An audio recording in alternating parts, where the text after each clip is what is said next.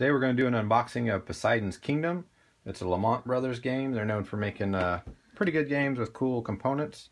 This was out of print for a while. Just got it from Game Salute. So let's open it up and see what's inside. Alright, got shrink wrap off. Got some pretty cool artwork there. Got the instructions, how to play Poseidon's Kingdom, in this game, you're supposed to be uh, stacking your dice on this uh, giant tidal wave that you make. At some point, it tips over and dumps all your dice on the board, and you go from there. I haven't really read the reviews on it yet, how to play, but I watched the Tom Vasel review back in the day. I just remember. So there's a punch board for the wave, looks like. Another punch board.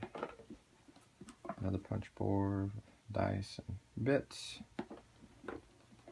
Some more punch board stuff. That's a really thick one. Uh, here's the player board, which probably won't fit in the video. I'll show this in a little bit when it's zoomed out. Uh, it's double-sided. Here's the Kraken of the game that's stealing your good guys that you're trying to rescue them from. And it's got a lot of little dice in it. Pretty colorful. That's pretty cool. Whee! And uh, let's see what's in here. Probably all the sea creatures. Ah, they're all in bubble wrap. That's cool. So we've got uh, some starfish. We've got, what else is this?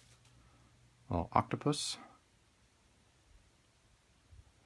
Uh, what else do we have? Little bluefish. And these are almost uh, plaster, ceramic. Pretty nice.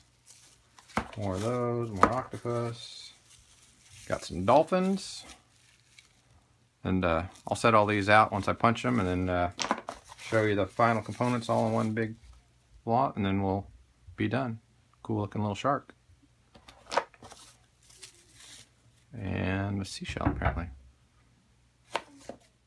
Here's everything kind of set up. Sorry to show all the junk in the background, but just want to show you all the bits. Here's all the, the chits here, and these are super thick cardboard. My daughter Merritt's here helping me. I don't have four hands, but here's some Survive Escape from Atlantis tiles, the sand and the forest, which are pretty thick. And these are how they compare to it. They're super thick, which is really awesome. And even the uh, the tiny little chits that come in the game, they're also super thick. So the only thing that's thin is the uh, tidal wave at the end. It's a little flopsy, but that's all right. We've got the Kraken Tracking, which is where your friends have been captured by the Kraken. You're trying to rescue them. This isn't a rules overview or anything. I'm just showing you the bits. Uh, each player will have a player color. they've got player dice, player chits. There's a smoke color for if you're not playing enough players and you need a, they go on fourth player, whatever they go on the uh, board. Here's the big mat, and it's got the guys at the bottom and the top, and a shark and a dolphin. And we are going to show you how uh, heavy duty these were. They're almost like the nativity scene figures you get at Christmas sometimes. Just super heavy duty. Paint jobs are yeah, pretty good, but it's hard to complain when the bits are that cool. And uh, throughout the game you can be building uh, reefs and stuff with your bits over here, or you can be placing dice on the wave and at some point during the game the wave will you'll tip the wave over and the dice will flow out.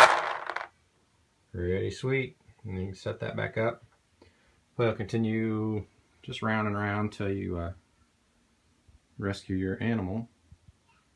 And that's it. Those are the bits. I'm really impressed. I hope to get this played soon and maybe put out a review at some point.